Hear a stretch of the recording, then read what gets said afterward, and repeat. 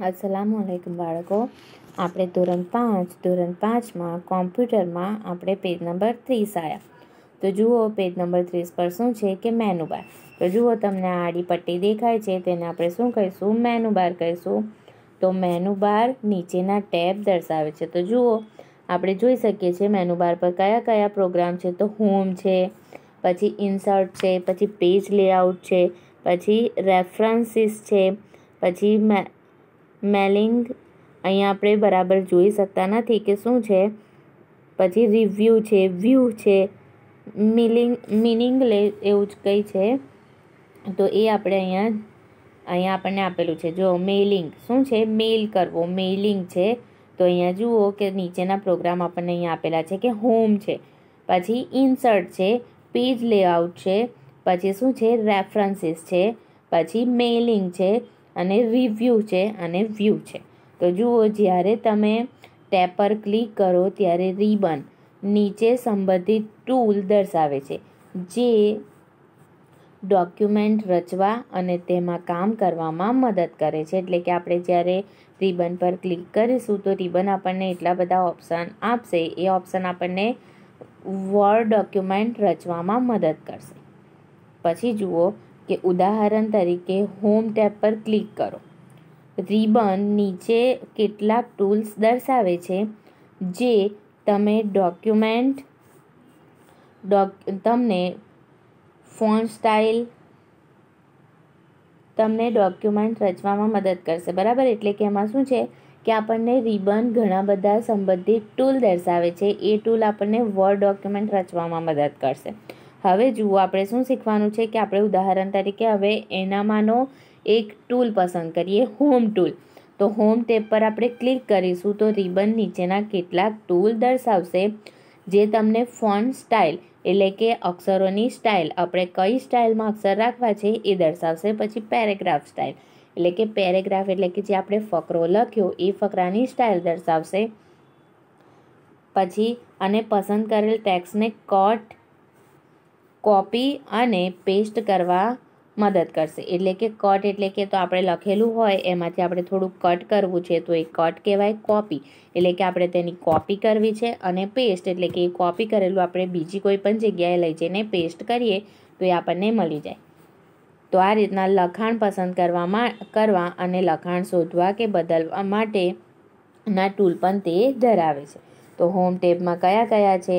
કે હોમ ટેબમાં cut, copy અને પેસ્ટ અને લખાણ સુધારવા માટે કે બદલવા માટેના ટૂલ છે. પછી જુઓ, શું છે કે વર્ણના ઉપયોગ માટે કોઈ પણ મદદ મેળવવા મેનુબારની જમણી બાજુ પરના માઇક્રોસોફ્ટ ઓફિસ બટન પર ક્લિક કરો. તો જુઓ, આપણે કોઈ પણ પ્રોગ્રામ આપણે અહીંયા જોઈતો હોય, કોઈ પણ મદદ જોઈતી હોય તો આપણે મેનુબારની જમણી તરફ આવેલા માઇક્રોસોફ્ટ ઓફિસ વર્ડ પર ક્લિક કરવાનું છે. તો આપણને એ મદદ મળશે. તો જુઓ, ત્રણ નંબરમાં શું છે? ટેક્સ એરિયા તો વર્ડ વિન્ડોના એરિયામાં તમે તમારું નામ, તમારું લખાણ ટાઈપ કરી શકો છો. નાની ઊભી રેખા ઝબુકતી દેખાય છે, તેને કર્સર કહે છે. શું કહે છે? કે નાની ઝબુકતી રેખા દેખાય દેખાય છે, તેને આપણે શું કહીશું? કર્સર કહીશું. તો ટેક્સ એરિયામાં તમે માઉસ પોઈન્ટર લઈ જાઓ, ત્યારે એરો બદલાઈ જશે અને આઈ જેવો દેખાશે. તો જુઓ હવે શું છે કે સ્ટેટસ બાર. તો ચાલુ ડોક્યુમેન્ટના page number, Word word count, zoom level વગેરે માહિતી દર્શાવે છે. પછી શું છે કે વર્ડમાં કામ કરવું. તો વર્ડમાં આપણે કેવી રીતના કામ કરીએ? તો જુઓ ડોક્યુમેન્ટની રચના કરવી. તો પહેલાં શું છે કે ફોન્ટ પસંદ કરવા, ફોન્ટ સાઇઝ પસંદ કરવી અને ડોક્યુમેન્ટ બંધ કરવા. આ રીતના આપણે અલગ અલગ પ્રોગ્રામ શીખવાના છે. તો શું છે કે વર્ડ શરૂ કરો. મેનુ બાર પર હોમ ટેબ પર પસંદ થયેલી છે.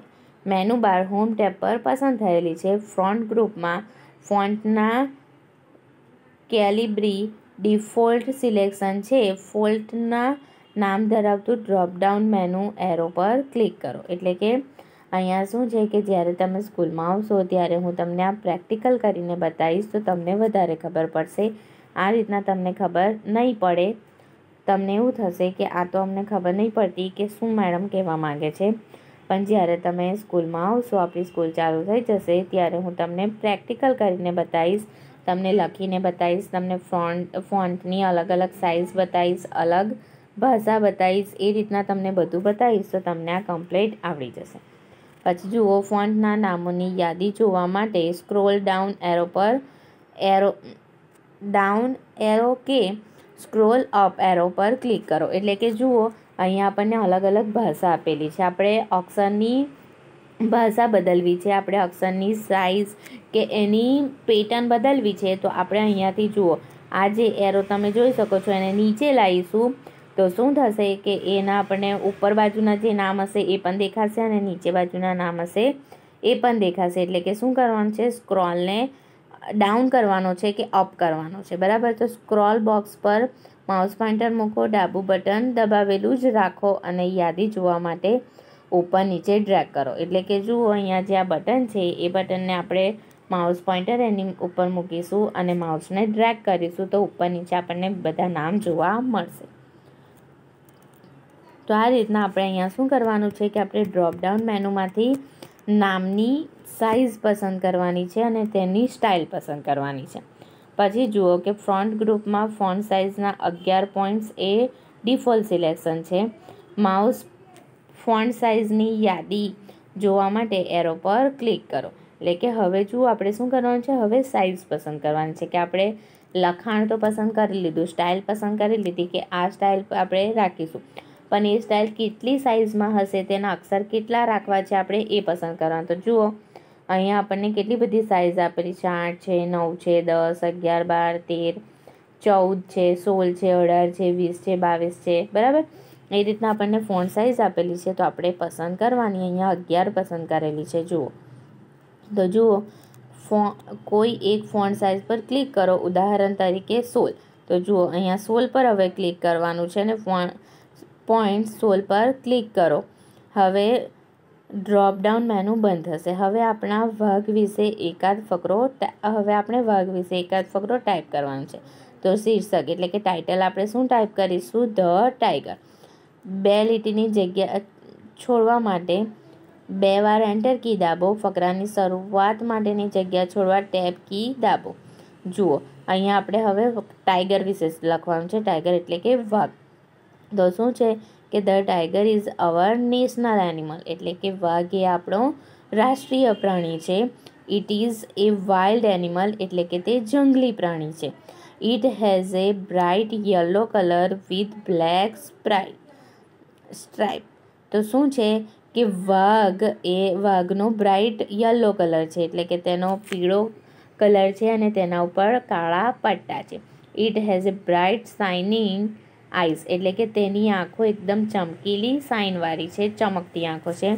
The tiger can walk or run without making any noise, એટલે કે તેને કોઈ પણ અવાજ તે સાંભળે, એટલે તે દોડવાનું શરૂ કરી દે છે. એવું અહીંયા વાઘ વિશે એક ફકરો લખેલો છે. તો આપણે આ રીતના ટાઈપ પણ કરી શકીએ છીએ, કે આ રીતના આપણે ટાઈપ કરીએ, પછી તેનો અક્ષરની આપણે સ્ટાઇલ બદલવી હોય, પછી તેનું આપણે અક્ષરને મોટા કરવા હોય, એકદમ ઘટ્ટા કરવા હોય, એ રીતના આપણે અલગ અલગ પસંદ કરીને આપણે અક્ષર સાથે એનું કમ્પ્લીટ આપણે ડોક્યુમેન્ટ બનાવી શકીએ છીએ. પછી જુઓ, ટાઇટલ બાર પર જો, ટાઇટલ બાર પર જો તમે ક્લોઝ બટન પર ક્લિક કરશો, તો તમને એક ડાયલોગ બોક્સ જોવા મળશે. એટલે કે આપણે ડોક્યુમેન્ટ, આપણે ફકરો લખ્યો. એ ફકરો આપણે લખી અને સેવ કર્યા વગર જ આપણે ડાયરેક્ટ ક્લોઝ બટન પર ક્લિક કરીશું, તો આપણને એક આવું બોક્સ દેખાશે. એ બોક્સ પર આપણને પૂછશે કે do you want to save the change to document એટલે કે, શું તમે આ ડોક્યુમેન્ટને સેવ કર્યા વિના જ બંધ કરવું છે તમારે? કે આ ડોક્યુમેન્ટના નામમાં તમારે કોઈ ફેરફાર કરવો છે? તમે કયા નામથી ડોક્યુમેન્ટ સેવ કરશો? એ રીતના તમને અહીંયા પૂછશે. તો આપણે શું કરવાનું છે? જુઓ જો તમે નો પર ક્લિક કરશો, તો ડોક્યુમેન્ટ સેવ કર્યા વિના વર્ડ બંધ થઈ જશે. અને જો તમે કંઈક ટાઈપ કર્યું છે, તે ખોઈ બેસશો. એટલે કે આપણે આ ધ ટાઈગર વિશે લખેલું છે, તો એ આપણે જો નો પર ક્લિક કરી દઈશું, તો આપણે જે કંઈ બી લખ્યું છે, તે આપણે આપણું ખોવાઈ જશે.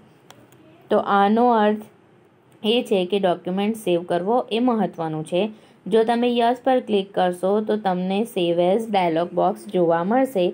જે તમને વિન્ડો બંધ કરતાં પહેલાં ડોક્યુમેન્ટ સેવ કરવામાં મદદ કરશે. તો આપણે આજે આટલે સુધી લખ્યા, શીખ્યા. તો તમારે આ થિયરી નોટમાં લખવાની છે અને તમારે આનું વાંચન પણ કરવાનું છે. આપણે પેજ નંબર ત્રીસથી પેજ નંબર તેત્રીસ સુધી શીખ્યા. તો તમારે થિયરી નોટમાં લખવી.